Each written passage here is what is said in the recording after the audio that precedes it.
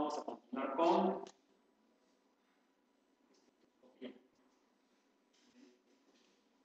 eh, ¿Alguna duda de lo que vimos ayer?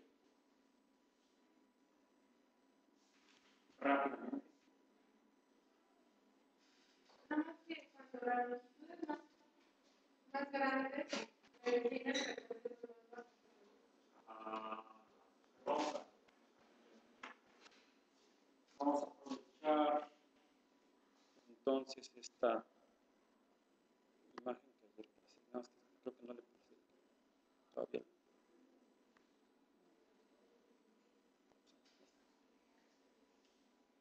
Bien, aquí tenemos una muestra del espectro electromagnético. Eh,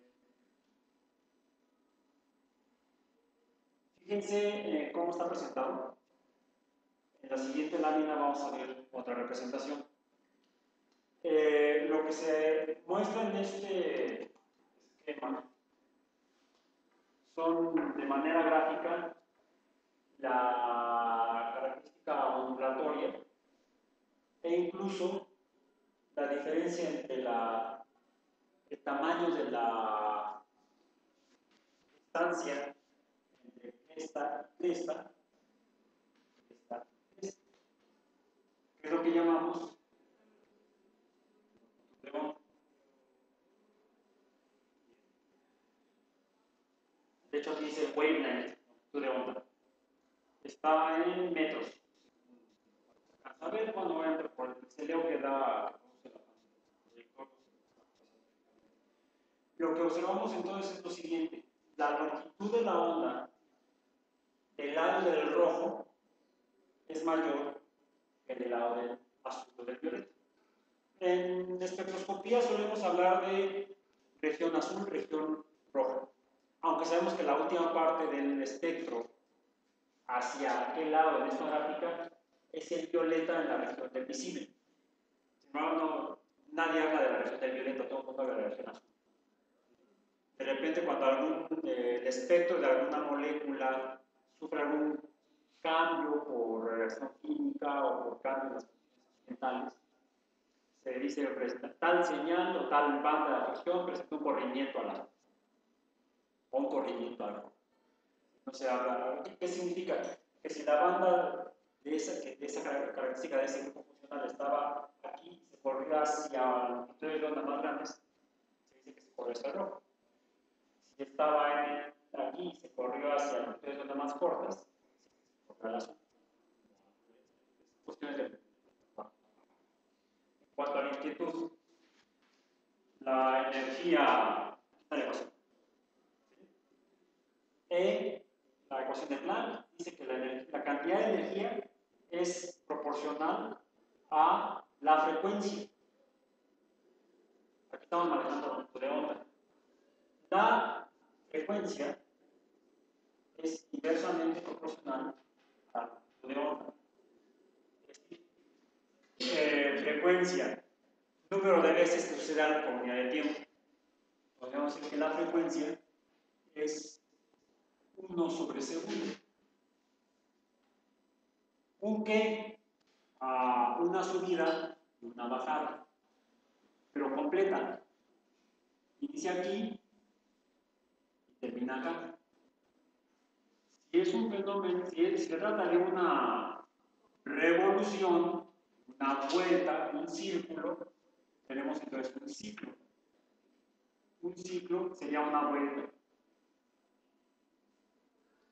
Si sucede en un segundo, estaríamos hablando de un ciclo sobre segundo. Esto incluso recibe nombre de Hertz o Hertzio. En España o en español algunos dicen Hertzio. En realidad es por Wilhelm Hertz, que fue el que definió esto. Así como este, la unidad de potencia eléctrica o volt se asignó en honor a volta. O la resolución numérica de la ecuación es igual a m por a, donde tenemos aquí unidades de masa, cuáles por ejemplo pueden ser kilogramos, unidades de aceleración, eh, metros sobre segundo al cuadrado, esto multiplicado por los kilogramos, nos da la, la, la magnitud de la fuerza. ¿En qué unidades? Hoy diría pues en kilogramos metros segundo cuadrado. Pero esto también recibe el nombre de newtons.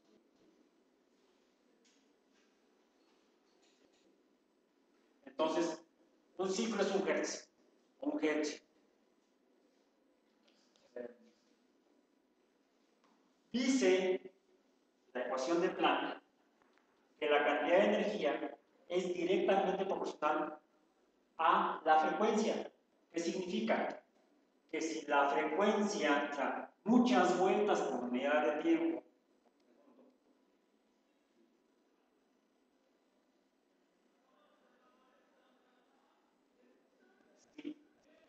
es grande, ¿cómo es la energía?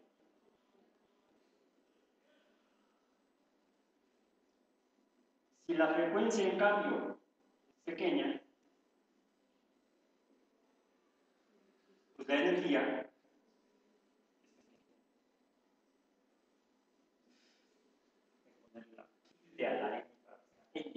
ya pequeña. Eh, bien. Entonces, eso sería un, un ciclo por segundo.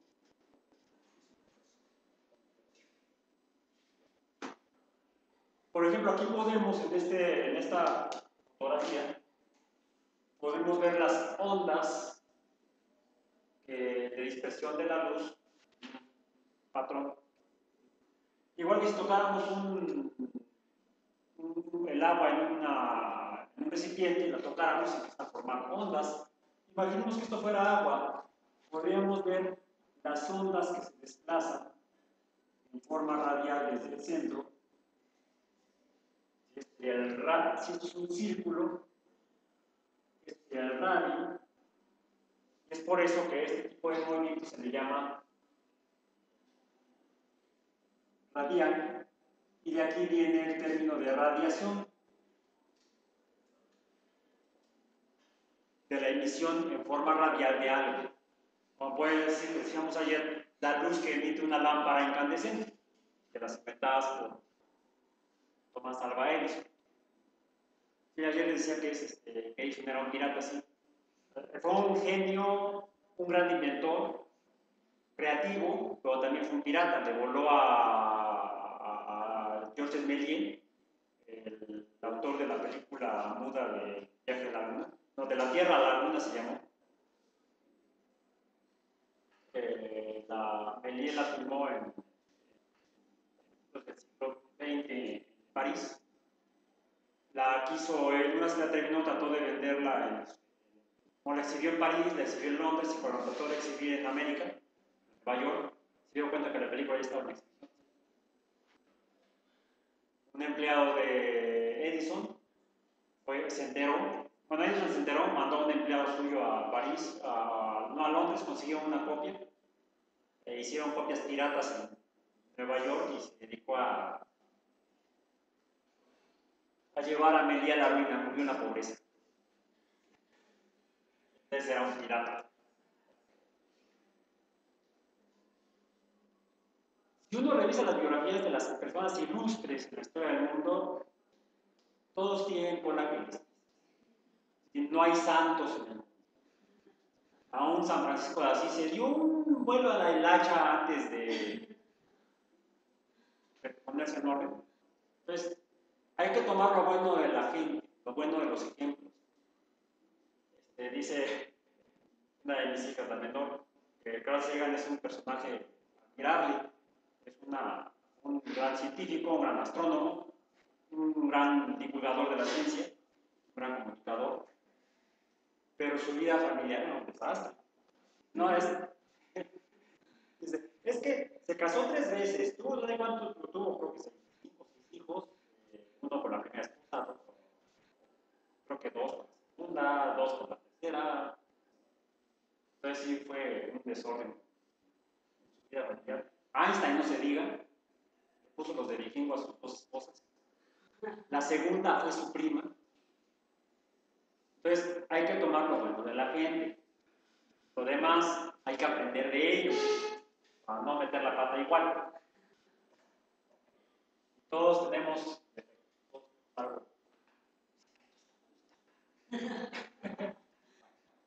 Todos tenemos vida privada. Ok. Entonces, de aquí viene radiación de radial de radio. Mencionabas la energía. Eh, hacíamos el ejemplo de que si nos oscilamos, si oscilamos lentamente, no, nada, pero si oscilamos fuerte, nos empezamos a sentir mareados. ¿Por qué? Porque las neuronas nuestro cerebro empiezan a sufrir cambios radicales que afectan su funcionamiento. Le estamos metiendo energía al sistema, energía de movimiento, y ese movimiento puede alterar la función normal. Eh, hablábamos de, en el caso de la acústica, que también son ondas mecánicas, las ondas de alta frecuencia son capaces, una soprano es capaz de romper una cota de cristal, mientras que un tenor es difícil que lo haga. Porque la, la frecuencia que corresponde a la estructura cristalina de, los, eh, de las moléculas de, de silicato de sodio corresponde a frecuencias altas. Es decir, las ondas la energía radiante o la energía ondulatoria interactúa con la materia.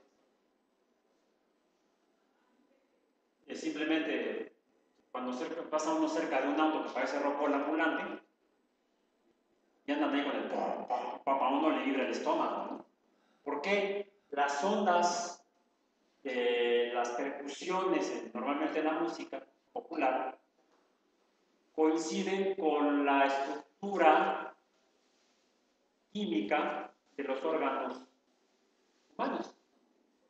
Por eso es que nos vibran este, los diferentes órganos, se mueve el intestino. Para algunos también se mueve el cerebro y empieza Por eso. eso. Ok. Entonces, esto sería un movimiento cíclico, ciclos por segundo. Pero también podemos medir frecuencia para una, un fenómeno cíclico que se desplaza. Decíamos, hablábamos de ese juguete, el espirógrafo.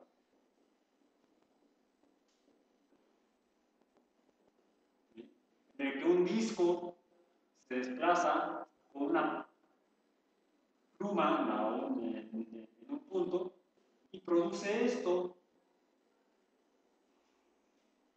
al desplazarse. Entonces tenemos el inicio del ciclo, la mitad del ciclo y el ciclo completo es acá.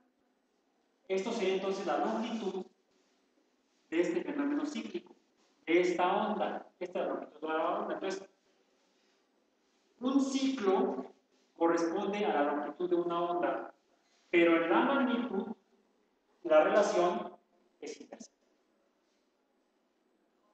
Esto es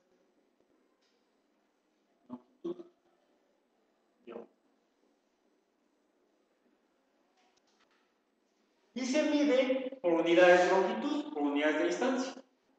Las podemos medir en metros, más pequeñas en centímetros, en milímetros, y la unidad es el metro.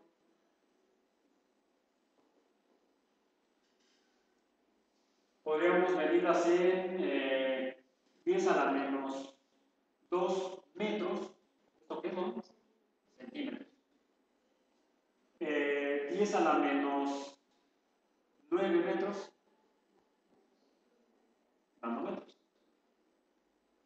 10 a la 10 decámetros. 10 metros. Lo representamos así, de mayúscula porque D minúscula será en decímetros. 10 a la menos 10 metros. Ese ha sido tu nombre. Vamos. Bien. Pongo esas unidades, esas eh, órdenes de magnitud de múltiplos, múltiplos del metro, porque corresponden estas longitudes a diferentes regiones del espectro electromagnético.